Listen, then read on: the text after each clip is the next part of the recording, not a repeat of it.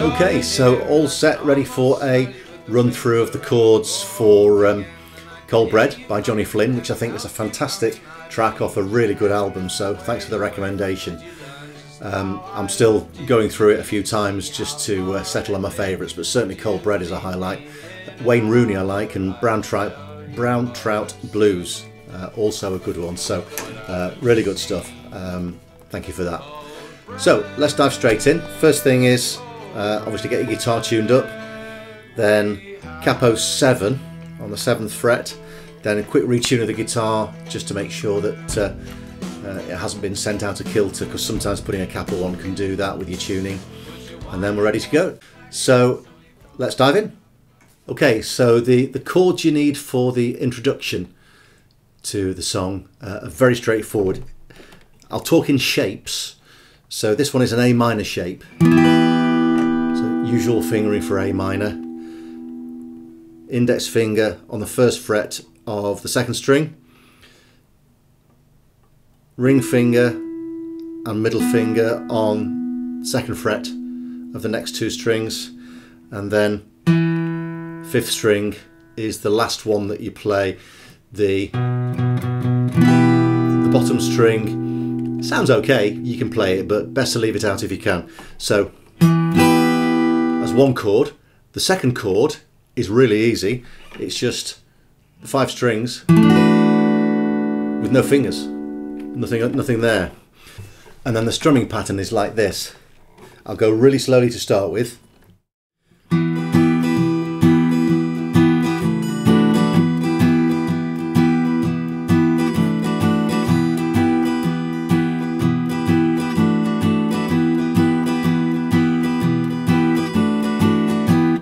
And that's it.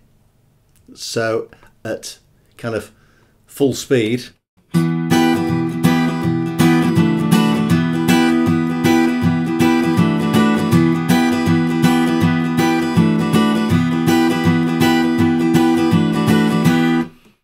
So quite straightforward in terms of the chord shapes that you're using, but it's putting it all together. So start slow. And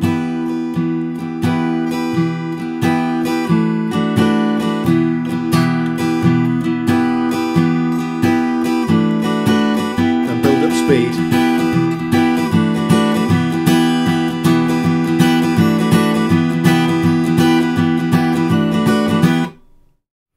So hopefully once you've got that strumming pattern down to a T, uh, the chords should be fairly easy.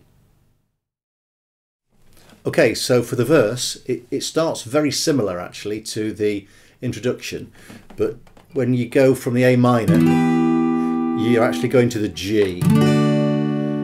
And you're back and forth for the first part from the A minor to the G.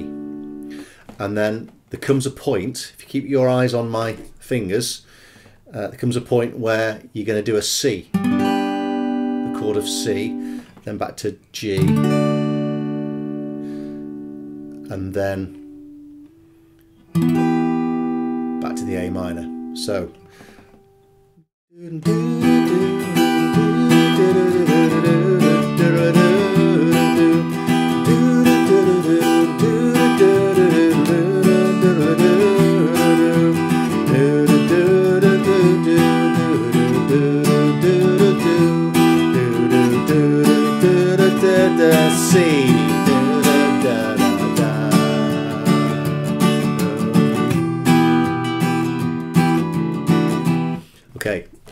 that's the that's the verse. A minor, G, and at some point a little bit later on, the C. So so far we've only used three chords and we've already done the verse introduction and uh, nearly into the chorus. So that's really good going. For the chorus, so for the bit where he sings cold bread, cold bread, we have dead short chorus and actually the, the chords are pretty simple. You, you're going to a C. Cold bread. Cold bread D we have A minor. But let me show you a little trick on that C to D. You can play the D, cold bread, cold bread, we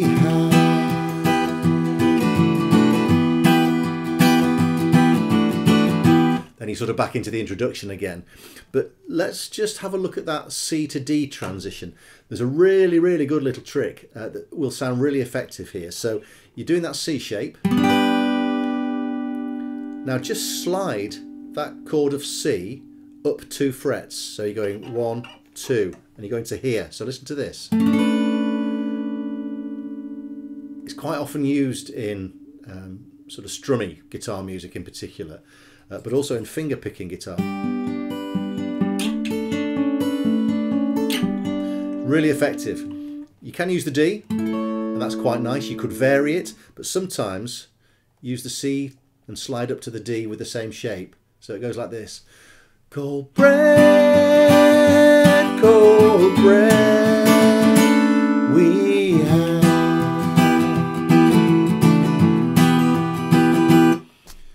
So that's the chorus. So you've now got pretty much the whole basis for the song. All we need to do now is look at the um, instrumental break, the sort of middle eight that he plays, and then you can start to stitch it all together. So let's do that. The last thing that we need to go through then is the instrumental part, which is very similar but has some nice little twists again um, compared with what uh, we've seen in the verse and the chorus. Chord shapes are the same, so you're going to be using A minor, C, that funny D, or a normal D. You can vary it, whichever works for you. You can alternate it. Um, it it's really quite interchangeable in this song. And then also you, you'll need a G at some points.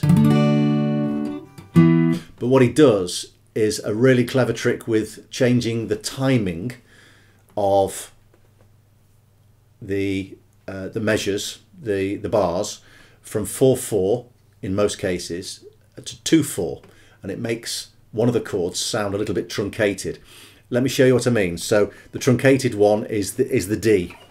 So it's going from A minor to C to D.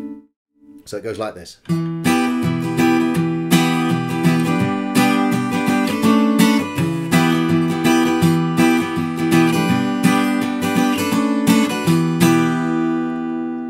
That. What he also does is that he uses some of the instruments uh, in unison, so they're all playing the same note and they're almost all playing a melody. So what I'll do is probably the best way of doing this is to play the instrumental and I'll play along with it and then I'll put the names of the chords over the screen so that you can see what's being played. You'll know these chords by now anyway, so uh, it's just a really simple case of just following it through actually in time with the music. So hopefully that will help. So let's do that now.